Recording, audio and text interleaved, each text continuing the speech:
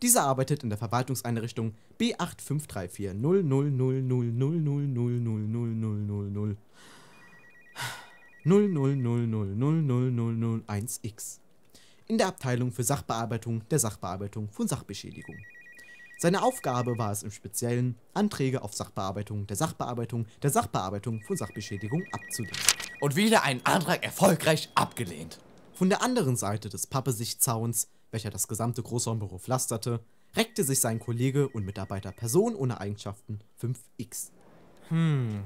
Aha, so ist das also. Was willst du denn jetzt schon wieder? Bob. 24 benannte alle Personen, die er nicht leiden konnte, mit obsoleten Namensstrukturen, welche freilich sehr verpönt waren. Wenn du mich noch einmal mit einer solchen Sprachgeistung titulierst, werde ich ein Verhaltensgutachten beantragen. Oh nein, kein Gutachten.